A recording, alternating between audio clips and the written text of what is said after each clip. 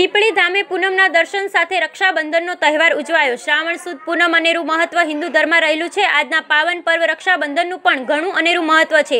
આજના પવિત્ર દિવસે ભાઈ અને બહેનના અતૂટ સ્નેહના સંબંધો રક્ષાબંધન તરીકે ઉજવવામાં આવે છે. ધાંગ્રદાસ શહેરથી ત્રીસ કિલોમીટર દૂર આવેલ પીપળી ધામ ભગવાન શ્રી રામદેવ પીર શવા ભગતની જગ્યામાં આજના દિવસે પૂનમના દિવસે હજારો ભક્તોએ સરકારશ્રીની ગાઈડલાઈન મુજબ ભગવાન રામદેવ પીરના દર્શન સાથે મહાપ્રસાદનો લાભ લીધો હતો. જેમાં નકળંગ ધામના મહંતશ્રીને વિશેષ ઉપસ્થિતિ રહી હતી આજના પાવન દિવસે. સવા ભગતની જગ્યા પીપળી ધામ રામદેવ મંદિર ખાતે સંતો મહંતોને રાખડી બાંધી રક્ષાબંધનનો તહેવાર ઉજવવામાં આવ્યો હતો.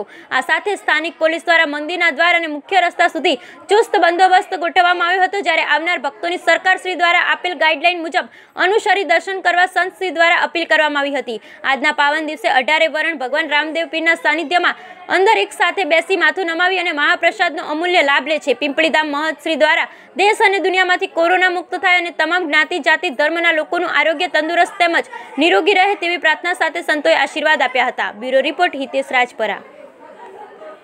વર્ષનું પ્રખ્યાત ધામ એટલે પીપળી ધામ અને આ ધામની પરંપરામાં અઢારે વર્ણને મફત ચા, પાણી, રોટલો, આવકાર, સેવા, સમરણ મળે એવી સનાતન ધર્મની પરંપરા.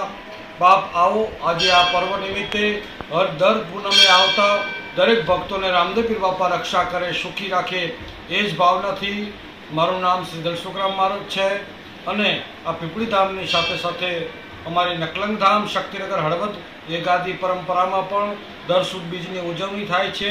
તો આવો રામદેવ પીર બાપાની, સવારામ બાપાની ગાદી પરંપરામાં આવી અને આપણે દર્શન કરી ધન્યતા અનુભવીએ.